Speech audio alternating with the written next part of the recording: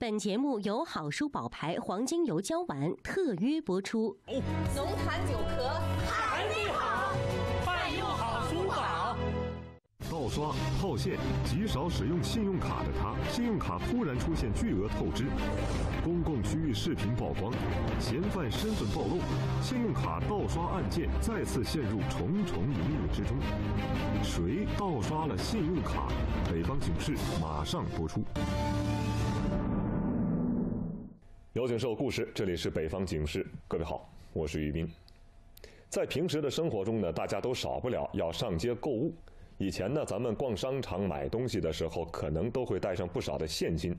不过现在呢，可能更多的人会选择带一张一张小小的储蓄卡或者是信用卡。购物消费这么简简单单的刷一下，就非常的便捷。尤其是信用卡，不仅可以缓解当下的经济压力，这个月花下个月还，没有利息，还可以得积分换礼品，更是得到很多人的青睐。但是呢，正是因为越来越多的人开始刷卡消费，包括提取现金，这一些别有用心的人也在这方面就动起了歪脑筋，打起了歪主意。九月十号，重庆市合川区人民法院就开庭审理了一起离奇的盗刷信用卡并套取现金的案件。四月底，重庆市合川区的金女士突然接到了女儿小新打来的电话，这个电话彻底打破了金女士平静的生活。我女儿打个电话回来，她说妈，她说她妈妈，她说你那个信用卡的钱花了透了七万多啊。金女士的女儿小新早在五年前就和金女士分开居住了，这次突然打回电话来问母亲是不是透支了七万多元的信用卡。听到了这话之后，金女士感到很纳闷。为了证实此事的真伪，金女士赶紧打电话到银行去查询。不料，银行的客服人员却告诉金女士说，她的手机号码和信用卡预留的号码并不一致，银行不予受理。听到这里，金女士的心里面突然一紧，当初办理信用卡时预留的号码就是自己如今使用的手机号码，现在怎么会突然不一致了呢？从我后院中心去查的，都查起出来。哎，我都急惨几经周折，金女士终于查询到了自己的信用卡账户，的确是有欠款七万多元。这个消息顿时让金女士傻了眼。而且更让金女士疑惑的是，要使用信用卡进行消费或者取现，很多情况下都是要用到信用卡，而自己的这张信用卡就在身边，这巨额的消费又是怎么来的呢？怎么会呢？卡在他手上，钱又不一而飞。他是有密码的，那么会让别人知道。于是金女士马上就报了案。为了查实金女士银行卡里的钱究竟去向了何处，民警前往了发卡银行进行调查。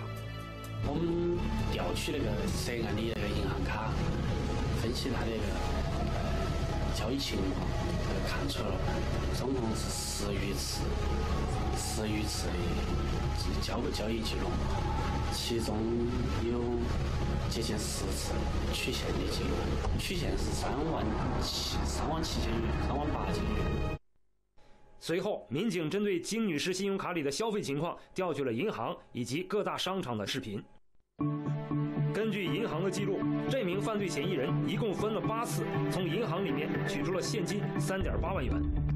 并在商场里面采用刷卡消费的方式购买了黄金首饰以及衣物等物品。一系列侦查发现了这卡是他身边的人作案。虽然使用他信用卡取现的这名男子脸部有所遮挡，但是金女士还是一眼就认出了这个人。这个人名叫丁姐，是自己女儿小新的前男友。五年之前，在金女士的极力反对之下，两个人分了手。那个时候，我妈就是嫌他家里面穷嘛，嗯，他自己本身没钱，也没什么文化，然后我妈怕我跟他会吃苦。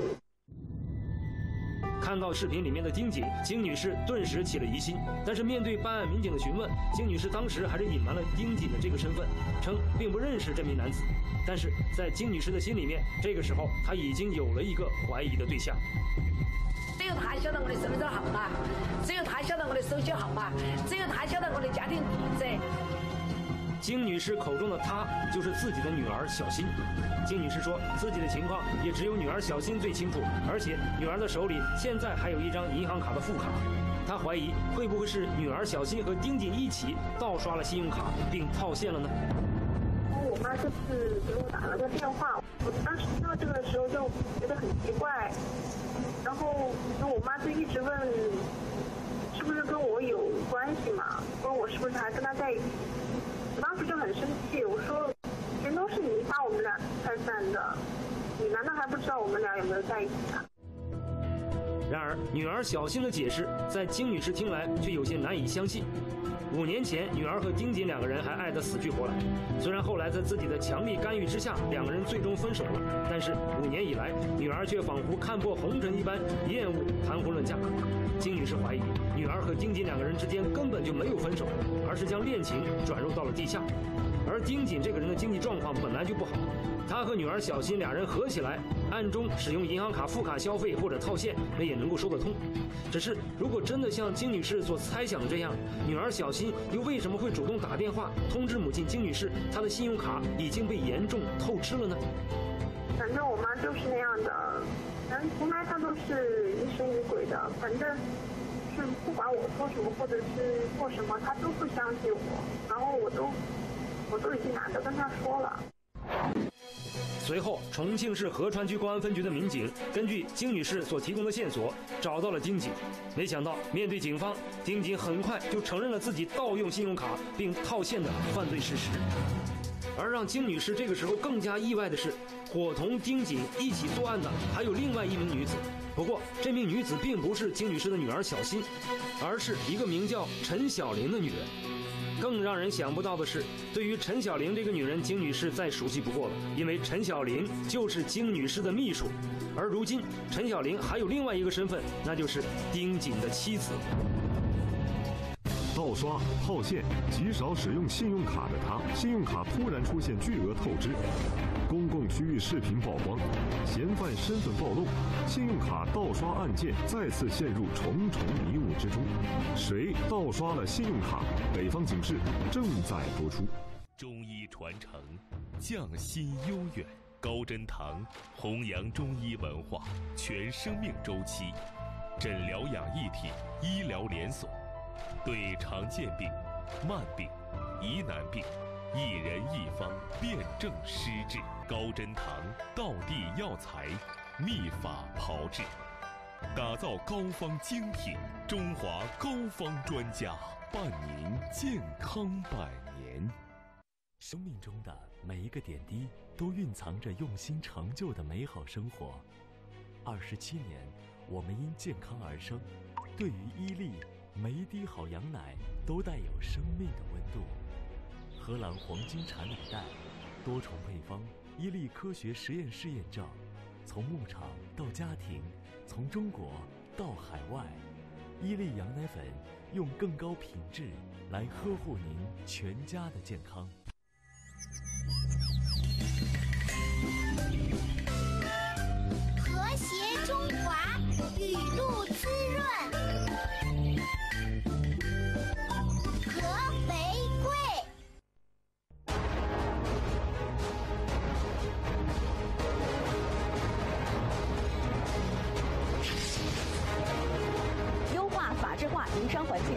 设法治辽宁，大家齐努力。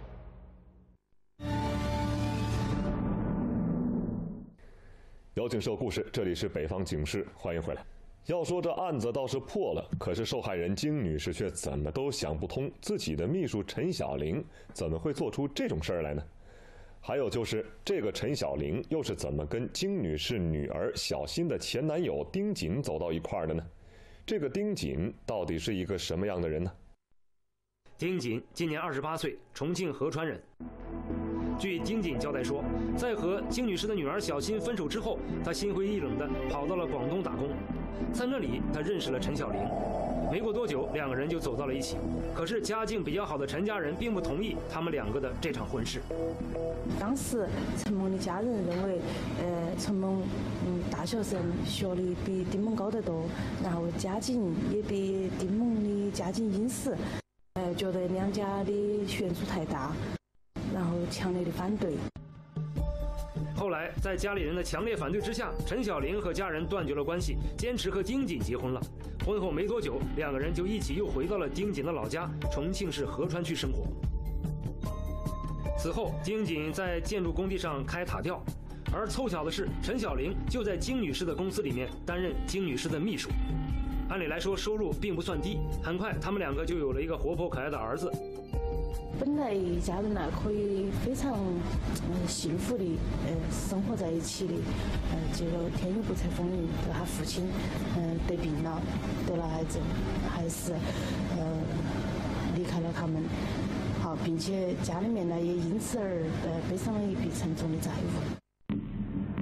在这之后，丁锦由于在工作中操作失误，被工地给辞退了。一家人仅仅靠着妻子陈小玲每个月的收入维持生活。接二连三的打击让丁锦开始心烦气躁，他开始沉迷赌博，希望能够借着赌博翻身，对家庭更是不管不顾。陈小玲这个时候发现了丈夫的变化，她曾经劝过丁锦很多次，但是丁锦不但不听，反而让陈小玲拿着信用卡去透支钱来作为赌博的资金，并承诺一定会赢回产生了这种想法之后，呃，并且把那个工资都平常的收入嘛，都赌赌了，输了。丁锦不断的对陈小玲说：“输钱只是他一时运气不好，等他运气好的时候，一个晚上最少也能够赢三五万。”缺乏主见的陈小玲被丁锦说的有些心动，心中也开始有了一丝的侥幸。从那之后，陈小玲多次将自己信用卡透支出来的钱交给丈夫，也如同赌徒一般，等着丈夫把钱再赢回来。眼看着自己的信用卡透支的额度已经满了，陈小玲的心里面十分的着急。在一次闲聊的过程中，陈小玲抱怨自己的信用卡透支额度太低，而自己的上司金女士的信用卡透支的额度则很大，可以达到八万元之多。然后丁某就去跟陈梦做工作，两个都商量嘛，说干脆我们去把你们金那个信用卡给偷出来。